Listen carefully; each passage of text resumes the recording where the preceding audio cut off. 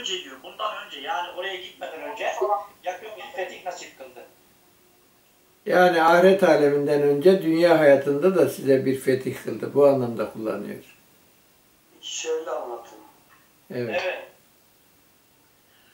Evet arkadaşlar. 25'te bir şey sanki es geçtik. Orada mümin olmayan bazı erkek ve kadınlar da o- olabilir. Onunla ilgili bir, bir şey değinmedik hocam. Ne, nerede geçti? Ne, ne dedi ya? Eğer kendilerini bilmediğiniz mümin erkekler ve mümin kadınları bilgisizlik dolayısıyla darmadağın edip de bu yüzden size dayanılmaz bir sıkıntı dokunmayacak olsaydı o zaman durum farklı olurdu. Bunu mu diyorsun? Evet. O konuya değinmedik. Onu açıklığa kavuşturmadık. Yani bir uçakta gidiyoruz. Uçağın içerisinde mümin olmayanlar var. Yani o uçağı düşünmeyin. Ee, o birkaç üzerinden belli olmayan imanları, mümin olup olmadıkları belli olmayan ee, sanki orada bir durumu idare etmek gibi bir şey var. Yani Yani insanlar olabilir. burada şöyle diyor. Eğer kendilerini bilmediğiniz mümin erkekler ve mümin kadınlar bilgisizlik dolayısıyla darmadağın edip de bu yüzden size dayanılmaz bir sıkıntı dokunmayacak olsaydı burada yani o inkar edenler güç ve kuvvet haline gelip o Müslüman e, sizin bilmediğiniz ifadesini kullanırken sizin yanınızda olmayan Müslüman kadın, Müslüman erkekler de onları da yok edip onları da e, ortadan kaldırsalardı ne olacaktı? Hani bir ayette de diyor ki yani orada e, zor zamanlarda e, o mustadaf olanlar bizi kurtaracak, bize yardım edecek yok mu dedikleri zaman onlar adına niçin savaşmıyorsunuz diyordu ya onu anlatıyor burada da. Benim anladığım. O Nis- Nisa suresinde geçiyor. Bitirelim isterseniz de ondan sonra konuşalım. Yir- 28. Ki o elçilerini hidayetle ve hak diniyle diğer bütün dinlere karşı üstün kılmak için gönderdi. Şahit olarak Allah yeter. Şimdi burada ki o elçilerini hidayet ve hak din ile diğer dinlere karşı üstün kılmak için gönderdi. Burada diğer dinler dediği nedir? Ben soru sorayım önce bir. Hristiyanlık mı? Yahudilik mi? Diğer dinler Hatice Hanım'dan baktığım diğer dinler ne demek? Hepsi yani. İslam haricindeki hayat, duyuyor musun? yaşantı şekilleri. Evet. Diğer dinler yani Allah'ın dinine paralel uydurulmuş din, dinler olarak algılıyorum. Çünkü Hristiyanlık dini yok, Yahudilik yok. Tek bir din var, Allah'ın dini var. Çok güzel. Burada aslında diğer dinle insanların ortaya koyduğu din. Şimdi diğer dinler sanki e, din deyince İslam olarak anlıyorlar. Oysa din insanların yaşam biçimine, hayat tarzına uygun kurallar ve prensiplerdi. Bir Allah'ın koyduğu kural ve prensipler var. Bütün peygamberler vasıtasıyla Allah'ın gönderdiği dinin adı İslam, teslim olanların adı da Müslümandır. İşte burada İslam anlayışını Müslümanlar güç ve kuvvet haline geldiğinde onlara e, o inancı, o yaşamı gösterme anlamında üstün kıldı diyor. Şahit olarak Allah da yeter diyor. Allah da bunu bildi. İşte Allah'ın Resulü ve onun kontrolünde Müslümanları eğitti ve Allah'ın istediği şekilde her kuralı uygulayacak bir konuma getirdi. Bunu anlatıyor. Evet. Yani aslında elçilerin misyonu o elçilere iman etmiş olan Müslümanların da misyonudur. Aynen. Yani bizim misyonumuz da bu. Allah'ın gönderdiği dini diğer bütün uydurulmuş dinlere Heh, üstün kılmak. Ee, şey bu, mücadele bunun mücadelesi olması lazım. aynen o. Ama maalesef, maalesef ben Müslümanım diyenlerin mücadelesi birincisi cemaat tarikat, parti, vakıf bu mücadele. İkincisi kendi dünyalık mücadeleleri. Ee, üçüncüsü de gelecek korkusu ve biriktirme mücadelesi. Maalesef bu böyle yani. Hani çok az insan var gerçekten Rasuller gibi kendisi yapmadan Allah yolunda e, fi sebilillah bu, bu işin mücadelesini veren. 29. Muhammed Allah'ın elçisidir. Ve onunla birlikte olanlar kafirlere karşı zorlu, kendi aralarında merhametlidirler. Onları rükû edenler, secde edenler olarak görürsün. Onlar Allah'tan bir fazl, lütuf ve ihsan ve hoşnutluk arayıp isterler. Belirtileri secde izinden yüzlerindedir. İşte onların Tevrat'taki vasıfları budur. İncil'deki vasıfları ise sanki bir eki filizini çıkarmış, derken onu kuvvetlendirmiş, derken kalınlaşmış, sonra sapları üzerinde doğruluk boy atmış ki bu ekicilerin hoşuna gider. Bu örnek onunla kafirleri öfkelendirmek içindir.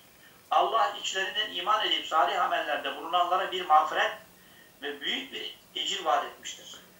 Şimdi Muhammed Allah'ın elçisidir. Ne demek elçi? Allah kendisinde olan bilgileri Nebi'ye aktarıyor. Nebi de o bilgileri bize tebliğ ediyor. İşte bu anlamda elçi. Elçiye zeval yoktur derler ya. Allah'ın gönderdiği vahyi ne eksiltir ne fazlalaştırır. Olduğu gibi ne gelmişse kendine onu aktarır. İşte onun için Allah'a itaat, Resul'e itaat oluyor. Ve onunla birlikte onlar kafirlere karşı zorlu, yani bu zorlu olay ne oluyor?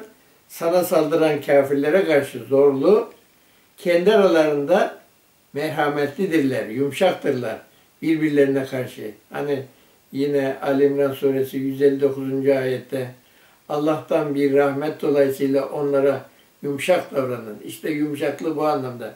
Ey Musa git e, yumuşak davran ifadesiyle burada önce mesajı doğru olarak ver. E, Müslümanlar içinde de Allah'ın koyduğu kurallara göre onlara e, eğit, onları düzgün bir hale getir. Onları rükû ediciler. Bak rükû ediciler derken bak burada namaz yok diyenler şu, şu anda bu rükû ediciler kelimesini yine iki anlamda kullanır.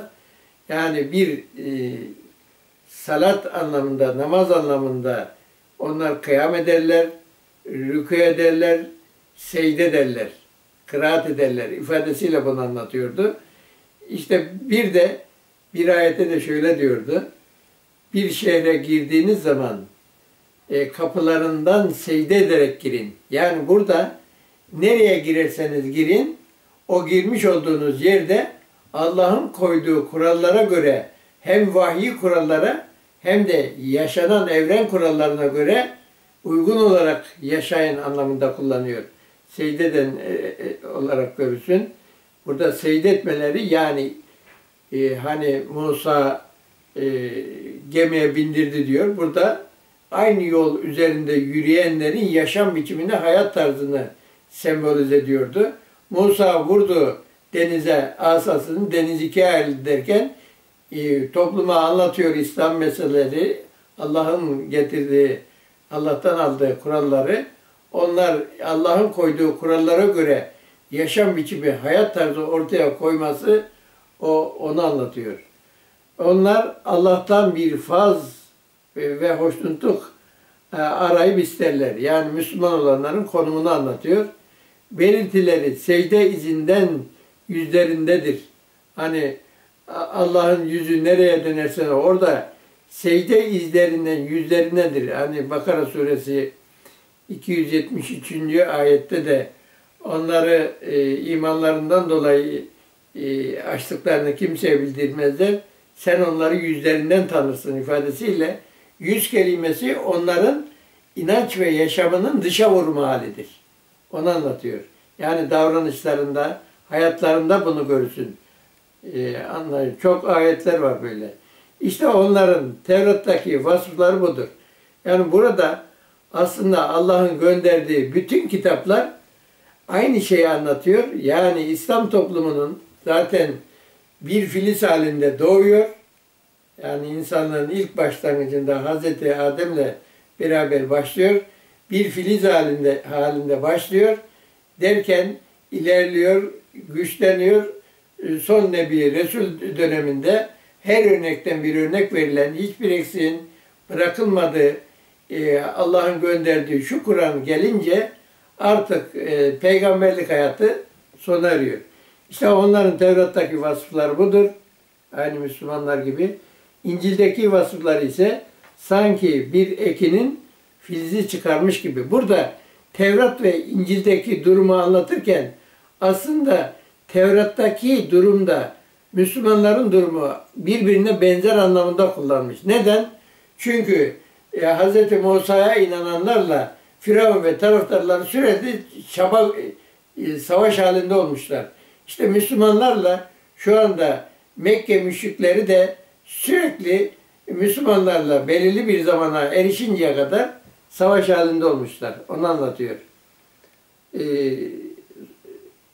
ne diyordu? Sanki bir ekinin filizini çıkarmış e, derken onu kuvvetlendirmiş, derken kalınlaşmış, sonra e, sapları üzerinde doğrulup e, boyatmış. Yani e, İncil'deki vasıfları derken de Hz. İsa'nın getirdiği vahiy kontrolünde yaşayan insanların, inananların konumuna zaten dört kişiydi. E, ekicilerin hoşuna gider, onların savaş yapacak bir hali olmadı anlamında kullanmış. Gider, onunla kafirleri öfkelendirmek, yani Müslümanlar güç ve kuvvet haline geldiği zaman kafirler neden öfkeleniyor? Kim ve nefretleri neden artıyor? Çünkü öyle bir dini istemiyorlar. Örümcek kafalı, yoldan çıkmış, cinlenmiş, büyülenmiş ifadeleriyle anlatıyordu. Allah işlerinden iman edip salih amellerde bulunanları bir mağfiret ve büyük bir ecirle va ecirle vaat etmiştir. Yani Allah kesinlikle vaadinde dönmez. İnanan bu sabırla, e, gayretle, çabayla o ilahi nizamın gerçekleştirilmesine çaba gösterenleri Allah ahiret aleminde ecirini vereceğim diye vaat ediyor. Olay bu. Hocam burada ekicilerin hoşuna gider dediği bunlar buğday mı ekiyorlar? Neden onların hoşuna gidiyor? Yani Yani sen dedin ki savaş etmeye mecalleri yok filan bundan dolayı dedin de ben anlamadım orayı. Şimdi e, Musa İsa'ya kaç kişi e, in- inandı? Dört, dört kişi benim anladığım. Dedi ki e, İsa kafirlerden inkarı sezince bana kim yardım edecek dedi. Havariler dediler ki biziz biziz yardım edecek olanlar biziz dedi. Müslüman olanlar biziz dediler. Burada işte Hazreti İsa'yı öldürdüler. Ama onlar o dik duruşlarını bozmadılar. İsa'nın anlattığı vahiy orijini dinle Hz. İbrahim ve oğlu gibi kurban olarak kendilerini hazırladılar. Ama Musa ve son Nebi Resul zamanında Müslümanlar güç ve kuvvet haline geldi. Ee, o güç ve kuvvetle o ilahi mesaj orada e, ses getirdi. Şimdi çiftçilikten e, cevap vereyim buna. Çiftçiye soralım onu. Buğdayı ekeriz. E, buğdayın saplarının böyle kalınlaşması, ondan sonra başaklarının e, dolgun, iri olması, o ucundaki o tüyler dimdik durur böyle. Rüzgar estiği zaman böyle hepsi bir e, şey gibi birlikte böyle sallanır. Dimdik durur ama o buğdayların başakları. Çok hoşumuza gider. Ee, tabii iyi bakım yapamamış olanların buğday e, şeylerine baktığımızda cılız, zayıf, yan yatmış, en ufak bir rüzgarda yan yatar böyle şeyler, e, bazı buğdaylar. E, işte ek, eken kişinin hoşuna gider, çiftçinin hoşuna gider. E, hasılatın çok olacağından dolayı hoşuna gider. E, herhalde bunu bir e, benzetmeyle Cenab-ı Hak Kur'an'a koymuş. Allah'ın daha hoşuna gidiyor. Ve Müslümanlar bir araya gelip dimdik duran işte haline gelmiş bir toplum görünce herhalde Yaradan'ın da hoşuna gidiyor. İstediği de bu değil mi burada şunu sorayım ben size. Yani e, topluluğa. Burada Tevrat'ı ve İncil'i hiç Kur'an'ın yerdiğini gördünüz mü? Neden Tevrat'ı, İncil'i Kur'an yermiyor? Neden? Hocam Allah, Allah kendi kitabını niye yedirsin ki? Heh. Çü- Çünkü aynı şey Ama ama şimdiki Tevrat ve İncil Kur'an'ın söyledikleriyle genelde ağırlık olarak birbirine muhalefet halinde değil mi? iyi de orijinali bozulmuş zaten. Ha. Allah yeniledi. İşte hep onu diyorlar. Yani şu günkü Tevrat ve İncil'i sanki Allah'ın gönderdiği Tevrat ve İncil gibi zannediyorlar. Oysa Allah'ın gönderdiği Tevrat ve İncil Hz. Musa ile Hz. İsa'nın o beynindeki ve söyledikleriydi. Ama o onlar öldükten sonra Tevrat ve İncil insanlar eliyle oradaki ne anladılarsa o anladıklarını bugünkü hadis adı altında uydurmuşlar, uydurmuşlar, söylemişler. İşte bunu yakalamak gerekiyor. Bugün İslam toplumlarında Anlaşılıyor zaten. Tevrat-ı İncil'in bozulduğuna ilişkin e, imalar var zaten. E, onu da e, belirtiyor Kur'an. Yani biz hadislerle birlikte yavaş yavaş o yola gi- giriyoruz yani. aynen hiç değişen bir şey yok. Tevrat'ta İncil nasıl aslından uzaklaştırılmışsa hadis adı altında şu dini de uzaklaştırmışlar. Kur'an'a bakıyoruz. Kur'an'ı biz koruduk. Biz indirdik onu koruyacak olan bizi diyor. Neyle koruyor Kur'an Allah? İnsanlar eliyle yazılıp, belgeleyip bir de ezberlemeyle koruyor. Koruma olayı bu. Evet. Arkadaşlar e, Fetih suresi bitti. Yani Fetih suresinde diğer ayetlere göre değişik farklı şeyler öğrendik. Allah'a şükür.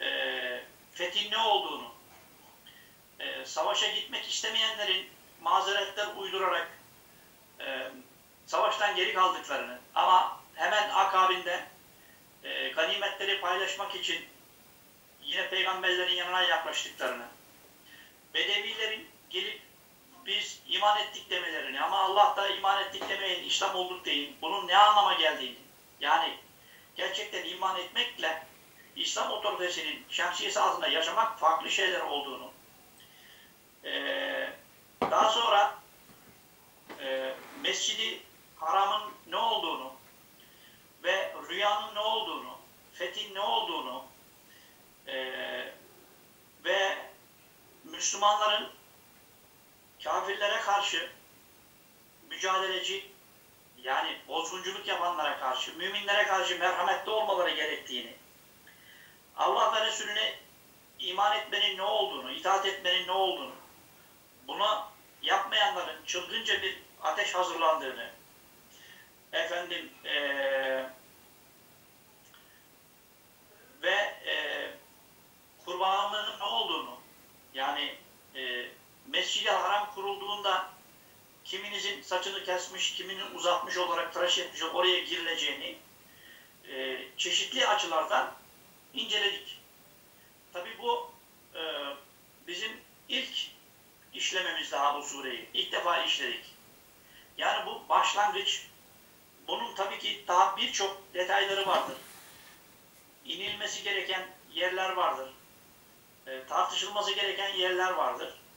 Ama bunları artık önümüzdeki süreç içerisinde konular geldikçe tekrar tekrar inşallah buradan işleyeceğiz.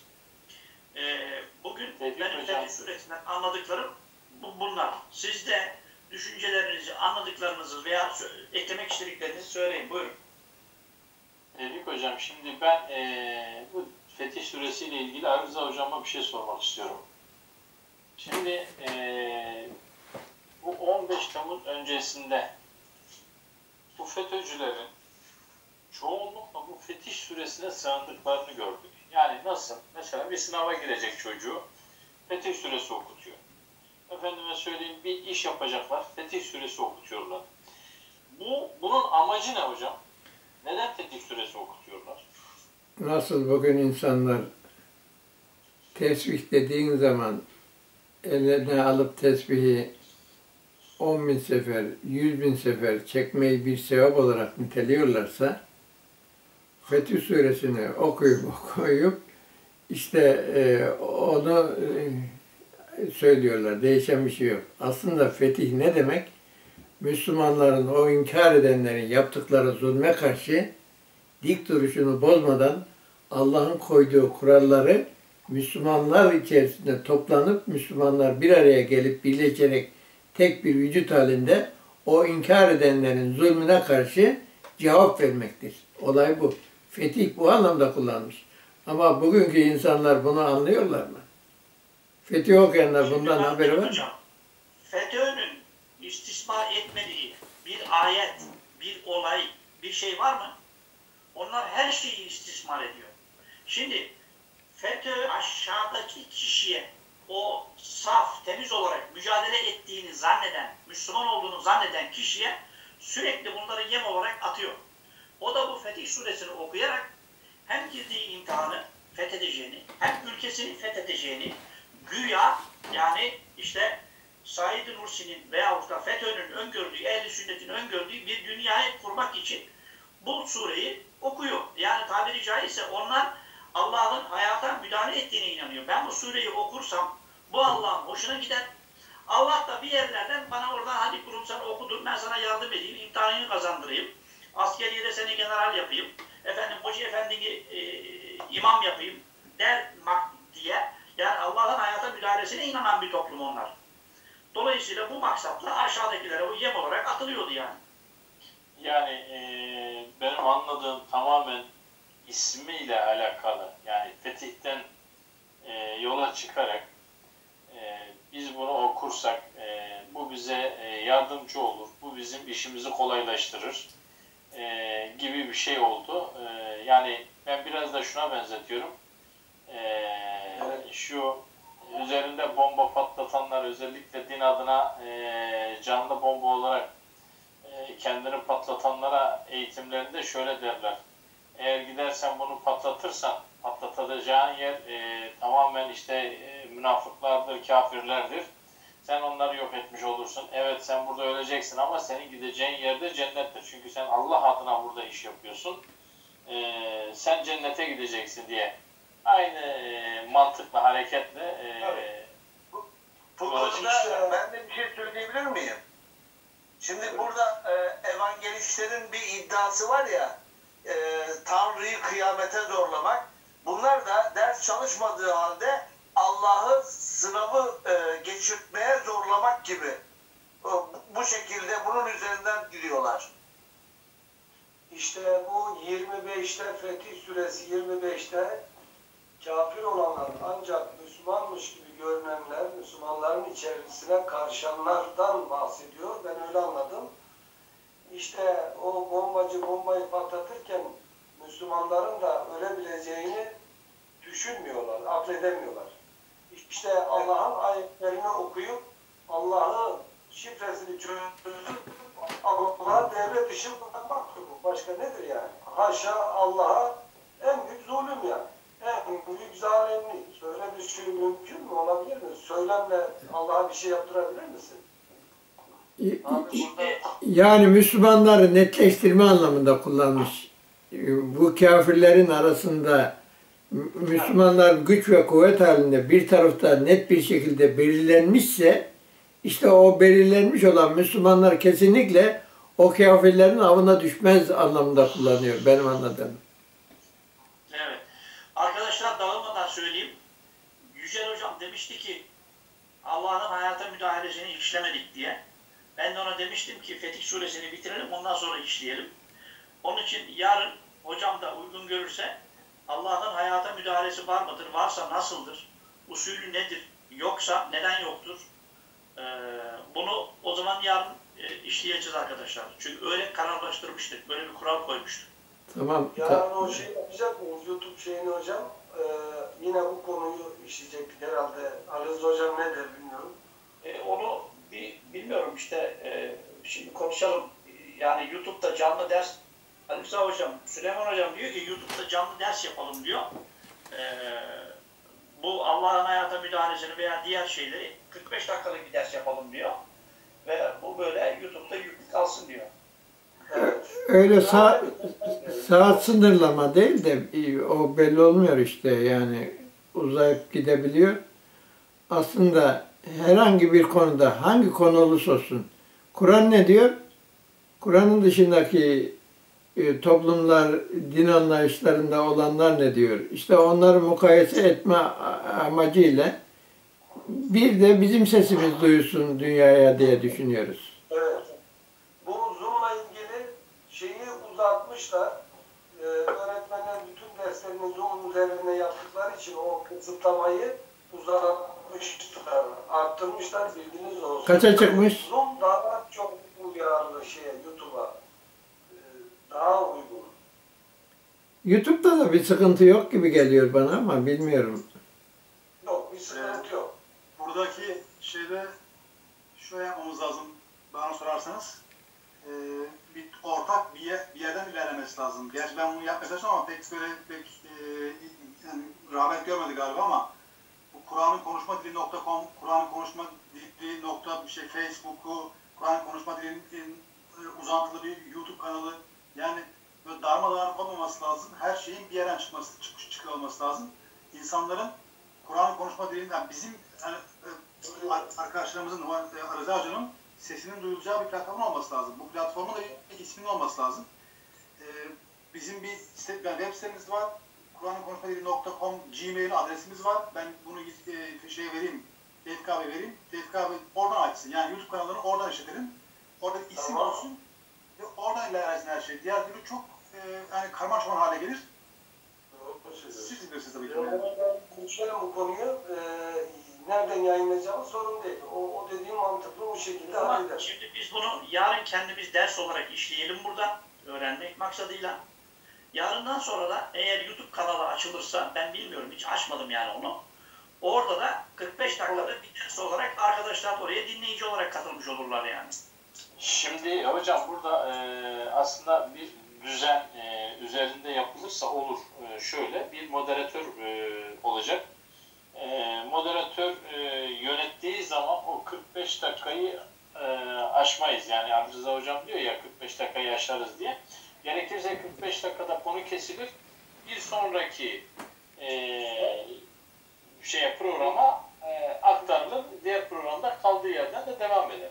Mehmet abi bu sunum çok önemli. Ekranın e, ilgi çeken o sunum şekli çok önemli. Onunla ilgili bir e, e, ekran e, formatı e, yapacağız. İşte Kur'an'ın konuşma dili, işte güzel bir ekran yapmamız lazım. Biraz süsleyip süslememiz de lazım. E, dikkat çeksin ve e, hem görüntü kalitesi açısından hem de şey açısından iyi olur. E, o şekilde e, ama ben şöyle düşünmüştüm bilmiyorum arkadaşlar nedir e, Tevfik hocamla e, Ali Rıza hocam e, ikisi bir konuyu e, şey yapsınlar moderatör olarak Tevfik hocam ve Ali Rıza hocam ileriki aşamalarda birkaç ders gittikten sonra bu sefer yavaş yavaş eklemeler yaparak bizler de isterseniz katılabiliriz diye düşünüyorum bilmiyorum. Bence mantıklı. Bence bu, bu öneri mantıklı bir öneri yani. Hem Aslında ilgi çekmiş, iyi olur. ilgi çekmiş, katılım Evet, artmış, mutlu vermiş olur. Ee, hem de ilk başta anlatılmak istenen şeyleri insanlar sakin bir kafayla dinlemek isterler. Bir tartışma ortamı değil de bir sakin kafayla ne anlatılıyor diye dinlemek isterler. İlk önce e, birkaç dersi çok güzel, aa böyle ezberi bozacak şeyleri güzel anlatıp yaptığımız zaman dikkat çeker ondan sonra dağ gibi büyür zaten. Ben öyle düşünüyorum. bilmiyorum. Evet abi Fetih suresiyle ilgili ben bir iki şey de ben söyleyeyim en son soruya dair.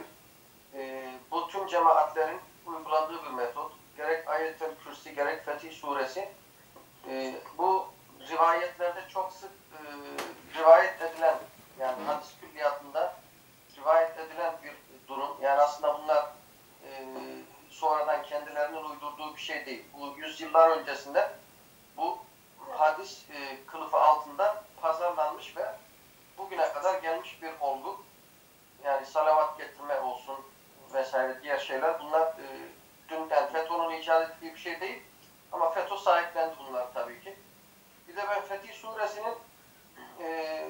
müteşabih kardeş suresinin de e, nasıl suresi olduğunu düşünüyorum. Bilmiyorum Arif Hocam belki bir cümleyle buna da dokunursa e, hani اِذَا جَاءَ نَصْرُ اللّٰهِ وَالْفَتْحِ وَرَأَيْتَ النَّاسَ يَدْخُلُونَ ف۪ي دِنِ اللّٰهِ اَفْوَاجًا Yani bence bir iki cümleyle Arif Hocam dokunursanız en azından bir pencere kapak tamamlanmış olur diye düşünüyorum. Ayetlere bakmak lazım. Ali Baba. Ben okuyayım. Okuyalım. Allah'ın yardımı ve fetih geldiği zaman insanların Allah'ın dinine dalga dalga girdiklerini gördüğünde hemen Rabbini hamd ile tesbih et ve ondan mağfiret dile. Çünkü o tövbeleri çok kabul edendir. Evet, işte işte Müslüman olanlar Allah'ın Resulüne o gördüğü rüyayı doğrulattırıyor burada. Yani Hristiyanlardan, Yahudilerden, ayrı ayrı din mensuplarından koraf koraf gelip Müslüman oluyorlar. İşte burada aslında Davud'a bir anlatım çarpıcılığı verdik diyordu. Ne demek anlatım çarpıcılığı? Davud'un hali vakti iyi, dünyalık, e, zengin bir durumda. E, her ihtiyacı olanın ihtiyacını gideriyor ve onlara mesajı verdiği zaman da zaten onlar öyle bir din anlayışını kim kabul etmez? İşte İslam ortaya gelince fetih yani Müslümanlar güç ve kuvvet haline gelince esenlik oluyor. Acı olanlar doyuruluyor. Çıplak olanlar giydiriliyor. Zulmedilenler, zulme uğrayanlar zulmü üzerlerinden kaldırılıyor. Böyle bir yere kim girmez? İşte koraf koraf girdi diye bahsederken onu anlatıyor. Fetih bu. Yani paylaşımın ve yardımlaşmanın olduğu, Her şeyin. kimsenin, kimsenin kimseye zulmetmediği, barışın ve adaletin sağlandığı, tabii ki herkes emniyet içerisinde böyle oturmak ister, yaşamak ister.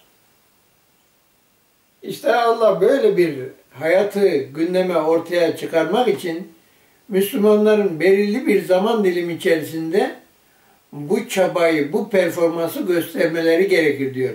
İşte bir örnek veriyor Allah ve Resulünü ve onunla beraber hareket edenleri işte size güzel bir örnek. Siz de hani bugün diyorlar ki İslam devleti bir hayalden öteye gitmez. İşte olmuş demek ki İslam devleti olmuş. Size güzel bir örnek. Böyle bir e, e, otoriteyi siz de kurabilirsiniz deyip mesajını bize veriyor Kur'an. O zaman Hocam, ama, ama bir şey daha var. Devlet dediğimiz zaman devletin de tarifini yeniden yapmamız lazım. Bugünkü devlet anlayışlarını ben şahsen kabul edemiyorum. Çok güzel. Allah'ın emir ve yasaklarını uygulayan otorite. Otorite. Yani burada Allah'ın emirlerinin hem sosyal hem fert halinde uygulanır hale gelen ve uygulayan bir otoriteye devlet diyor Allah. Buna eyvallah ama bu kelle sayısıyla yani böyle illa milyonların olması gerektiğine inanmıyorum. Ben bunu kastettim. Yani iki kişi bile bir araya geldiğinde birbirlerine karşı güven verdiğinde birbirleri için kaygılandığı zaman bu bir nevi mini devlettir bana göre. Kişinin kendi başına da bir devlettir hocam. Yani şu anda ben diyorum ki insan hem muhalefet hem de iktidar olan ve kendi kararını kendisi verebilen yani muhalefeti de efendim e, devleti de kendisinde olan hangi yönde karar vereceğini insan yetki kendi başına bir devlet konumundadır. İki kişi olsa da orada da öyle. Daha şeyini söyledi Mehmet abi. Al sana Al, İşte yani bir olay karşısında in- insana iki tane teklif geliyor. Birisi Rabbin tarif ettiği şekilde bir teklif, birisi de Rabbin reddettiği şekilde bir teklif. Sen burada karar verme mekanizmasını oluşturan senin kendindir.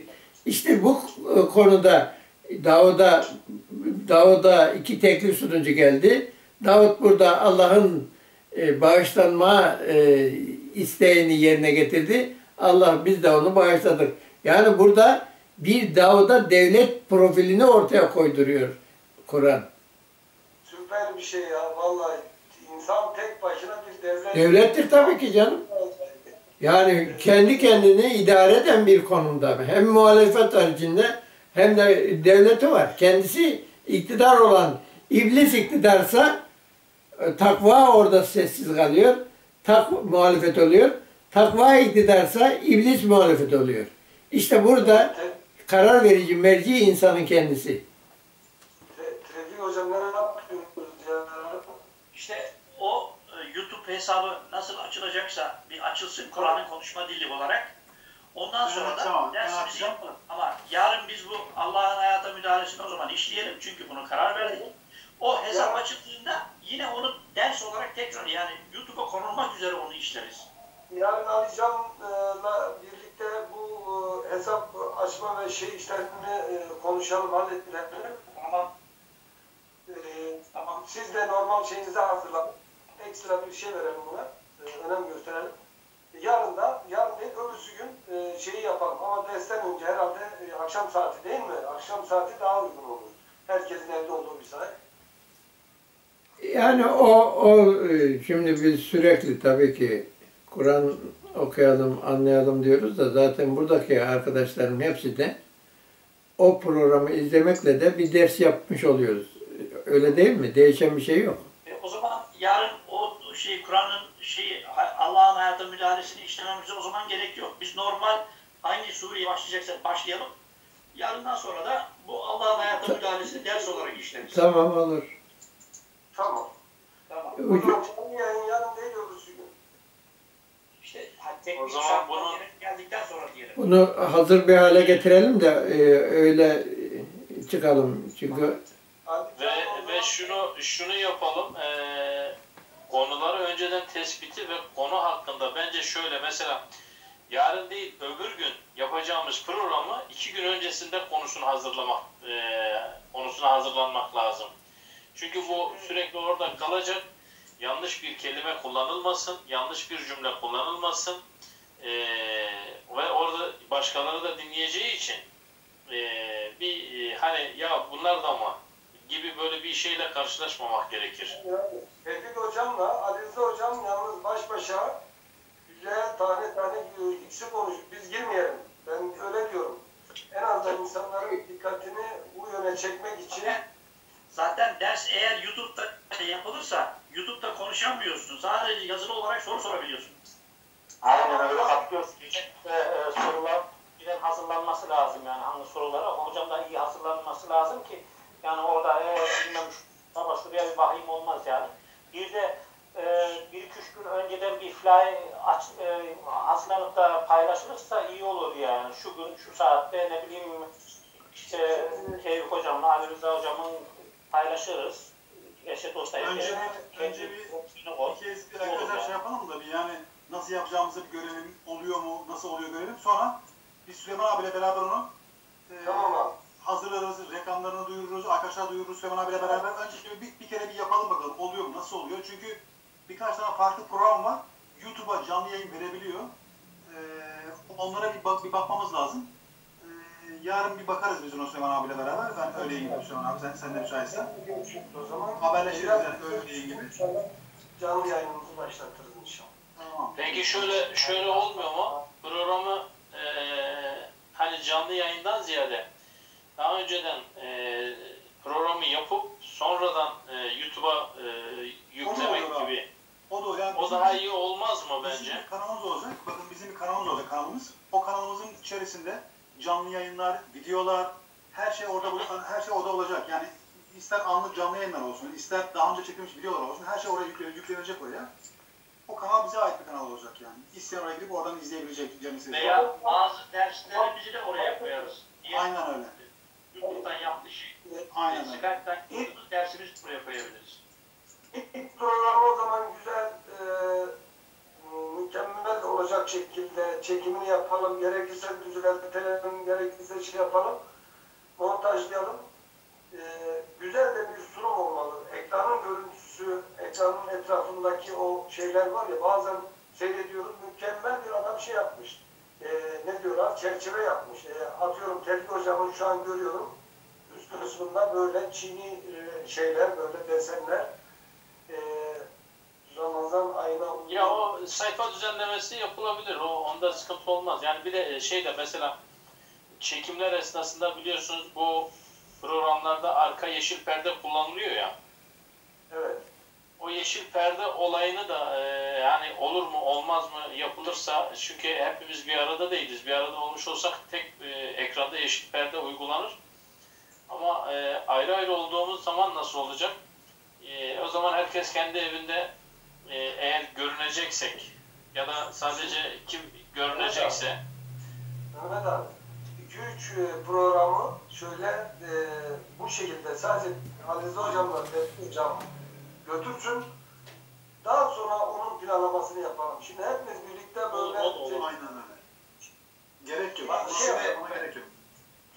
Mehmet Bey'in Mehmet Bey'in önerisi bence çok iyiydi. Şöyle paket program olarak hazırlanır, daha sonra YouTube'a yüklenir. Çünkü arada e, bir takım hatalar olur veya bizim akşamları işlemiş olduğumuz derste mesela şakalaşıyoruz. O dışarıdaki insanlar e, bizim aramızdaki samimiyeti bilmez, yanlış anlayabilirler. E, onu mesela o araları kesebiliriz. Nasıl kesileceğini ben biliyorum. E, onu keseriz. O arayı birleştiririz. Ona göre yayınlarız. Yani o aradaki bazı şakalar diğer insanlara e, aksettirilmesin. Ba- basit, sıkıntı yok ya. Yeter ki e, bir o Tevfik Hocam bu 2-3 program dedik ya. Bunun için e, odanızda güzel bir yer ayarlayın. Alize Hocam siz de e, uygun olsun. E, en azından arkası böyle bir şey gibi olsun. E, böyle koltuklar şey. Ekranı da yaparak bence. Ali. Rıza'nın kitaplarını şöyle güzel bir tam okunaklı çerçeveyle böyle e, durduğunuz yerin tam arkasında izleyicinin rahat görebileceği e, yani beslendiğin kaynağın bu olduğunu izleyici e, görmesi bence çok uygundur. Evet. Ee, İnşallah yarın bir çalışma yaparız. Ee, herkesin beğenisine bir sunarız. Ee, Arcan abimle. Ee, ona göre bir ortak karar şey yaparız. Bu işin uzmanı e, arkadaşlar da var. Onların da hatta bir tanesi İstanbul'da. Ee, olmazsa onu Ali yönlendirebilirim oradan. Program şirketi var bunun. Ee, Bakalım yarın konuşalım bu konuyu. İnşallah başlayalım. Bir an önce geç bile kaldık. Bu mükemmel anlayışı, anlatımı herkes istifade etmesi lazım. Ee, bu bir harçtan da doğruluk mesela. Harika her surede ezberlerim oradan bir e, anlatım e, var, bir anlayış var, bir Kur'an anlama şekli var. Gerçekten olsa olsa budur diyebileceğimiz şey. İnsanlar da bunu çok anlayacak şekilde Tevfik Hocam bu konuda zaten şey diksiyonu da çok iyi. Ali Hocam bazen çuvalla getiriyor, güm döküyor böyle. E, hazmedemeyebilir insanlar. Yavaş yavaş böyle. E, iyi bir ikili bence. Ben şöyle bakıyorum. E, iyi bir gözlemciyimdir. Yani böyle e, televizyon programlarını çok seyrettiğim için herkes e, bir katkı daha bulacak şekilde o, o yapacağımız çalışmaya bir öneride bulunursa daha güzel olur. Yavaş yavaş ondan sonra gruptan yavaş yavaş katılımlar olur. Ee, bunu biraz çoğaltırız. Ya göreceksiniz daha gibi böyle büyür. Bir anda e, inanılmaz bir seviyeye gelir yani. Ben buna inanıyorum. Ama yorumları şey yapmamız lazım, kapatmamız lazım yorumları. Çünkü yorumlarda çok hakaretler gelecektir. Hakaret gelsin, yorumları Hayır, hayır, hayır. Kendimizi geliştireceğiz. Hayır, o iş neden gelmesin? Çünkü orada özellikle şunu söyleyeceklerdir. Arapça bilmediğimiz üzerinde özellikle duracaklardır. Bu insanlar da bu konuda çok hassas. Arapçayı ku- kutsallaştırdıkları için. Hocam rastgele konuşma olmuyor ki. Delilleriyle birlikte Tamam ama ama yani bu konularda ben çok takip ettim bu tür e, şeyleri, yayınları. E, yayının insicamını çok bozuyor. Valla e, o yorumlara da ihtiyacımız var. Çok güzel yorumlar da olacaktır. Ona göre nerede yanlış yapıyoruz, nerede doğru yapıyoruz bize bir fikir verecektir diye düşünüyorum. Yani sonuçta bunu söylemekten çekinecek bir halimiz yok. Kur'an'ı anlatıyoruz. Ne var bunda yani? İnsanlar Ya istediği tamam. ateist de var, kafir de var, her şeyi herkes Hayır ya adam gibi gerçekten ilmi manada e, bir eleştiri yapmış olsa baş göz üstüne adam hakaret ediyor. Bir de Arapçayı kutsallaştırdığı için Arapça üzerinden yükleniyor. Diğer insanlar da bu konuya e, yani sanki bir, bir şey bulmuş gibi bunun üzerinden yürüyorlar. Bu yanlışı bir tetiklemiş olmayalım veya şey yapmayalım. Tahrik etmeyin. Bizim yardımımız ne olur? Eğer bu yoruma açık olursa, çünkü her eve girecek bu şey. Ee, böyle yorumların içerisinde önemli, alınması gereken hem iyi hem eleştirel anlamda birkaç yorum Tevfik Hocama vakflarını atacağız. Şöyle bir şöyle bir yorumda bulundu. Ee, bizim de şu an tespit ettiğimiz cevabı bilgiler bunlar. Ee, Tevfik Hocama orada yardımcı olacağız.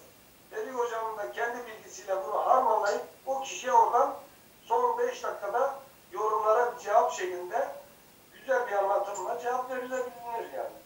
Genelde uygulama bu şekilde.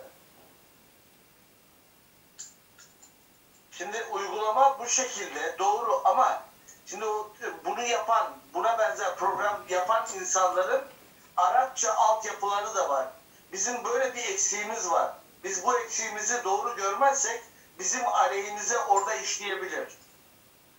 Yapalım hocam bir Arapça e, hafız mı gelir? İşte biz de Onu, onu ben bilemem yani. İşte- bu, bir gerçek, bu bizim gerçeğimiz, bu bizim bir eksiğimiz demeyeyim ama halka göre bir eksiklik olduğu için bizim aleyhimize burada işleyebilir.